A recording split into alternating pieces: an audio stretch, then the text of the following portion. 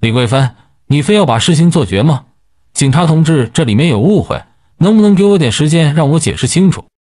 有什么误会，跟我回警局解释吧。另外一边，我爸太无情了，不但让我被批评教育，还让我被拘留了几天，这口气我真的忍不下。李金宝，你有没有什么好的办法？你不会是想报复你爸巩华吧？那你趁早打消这种念头。你报复你爸，你又不能得到钱，没必要这样做。那如果我能帮你得到钱呢？你能不能帮我收拾巩华？当时李慧都已经放过我了，但我爸就非要报警，非要让我被拘留，我这口气实在咽不下。不过我不能直接得罪我爸，我以后还要靠他的工资生活呢。所以这件事你得出面帮我。你要是能让我挣到钱的话，这件事当然可以商量。我现在真的太缺钱了，你先说说怎么帮我来钱。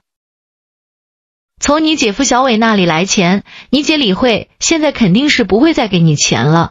但你姐夫小伟就是一个老实巴交的乡下人，他的特点就是热心肠。找一个你们的同乡问他借钱，借钱的理由编得凄惨一些，比如说老母亲生病需要做手术，小伟不可能不借，但是这个钱借了就不还了。另外一边，张启东已经聘请了律师，陈律师，我是真的没有推李桂芬。他这就属于诬告，李桂芬才是真正的违法。但是你没有证据啊，张公子，你想一想，在马路上扶起来一个素不相识的老人，做了一件好事，都很有可能被冤枉。而你去李桂芬的店里，本来就是凶神恶煞的。说句不好听的，你是去找事的，这点店里的员工都可以证明。更重要的是，你去之前，李桂芬的腿是好的。那家店我去过了，我还专门问询了这些店员，他们虽然都不喜欢李桂芬这个老板，但也都很统一的说，李桂芬见你之前是腿脚伶俐的，见你之后就半身不遂了，这怎么解释？而且李桂芬指名道姓就是你推的她，这对你很不利。怎么就对我很不利？还有没有天理了？李桂芬说我推她，就能证明我推她了吗？我证明不了我没推她，但她也证明不了我推她了。他自己就是证人，他的伤就是证明，他伤的那么严重，不是假的吧？半身不遂加腰椎骨折，这么严重的伤，也不可能是为了诬陷你做出来的吧？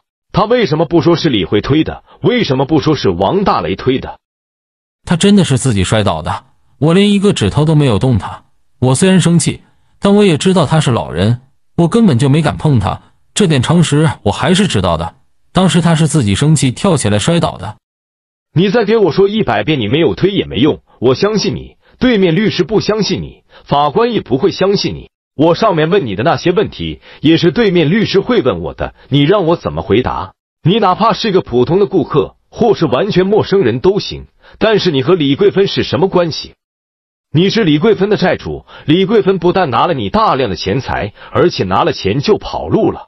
让你花了大量的人力物力才找到他，你说在这样一种情况下，你推他合理还是不合理？现在这件事已经闹到网上了，连网民都是一边倒的相信李桂芬。相对于没有证据的真相，网民更相信自己认为合理的事情。说句不好听的，哪怕最后李桂芬承认你没有推他，网上的人都不会相信，会认为是你用钱摆平了一切。还有一点，李桂芬的病情在那放着。你想拖时间打官司都办不到，网民都不会愿意的。等事情闹得越大，对你越不利。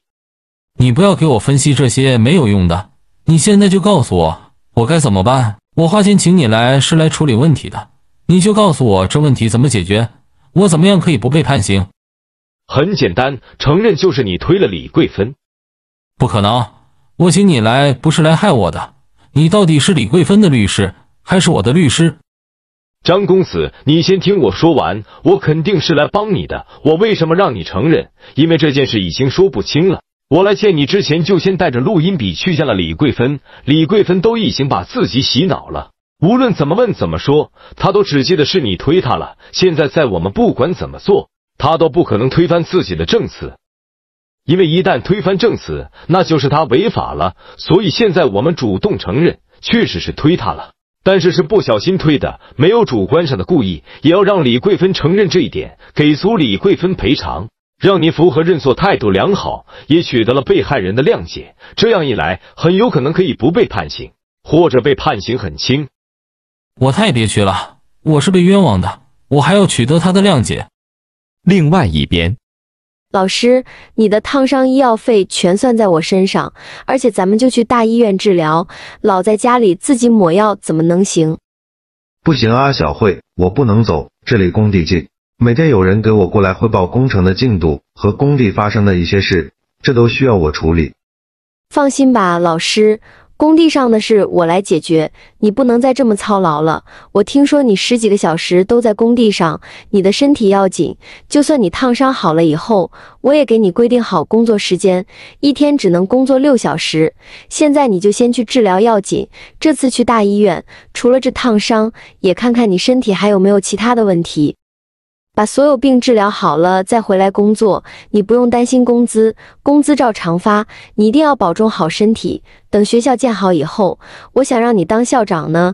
以后我会给您雇一个助理，专门监督着您休息，不能再让你这么操劳。你的身体是第一位的。小慧，你对我这个老头子也太好了，我第一次遇到你这么知道感恩的孩子。我不知道你对我这么好。另外一边。李桂芬，你起诉张启东推你，张启东认了，你不愁以后养老的问题了。但是现在张启东面临被判刑，这是绝对不允许的。张启东不会放过你，张启东的父亲也不会放过你。你要想安然无恙，你就听我的话。你要说张启东是不小心把你碰倒的，只要你配合，张启东会给你出所有的医药费，还会再赔给你一家公司。你要是不配合，那我们就好好打官司吧。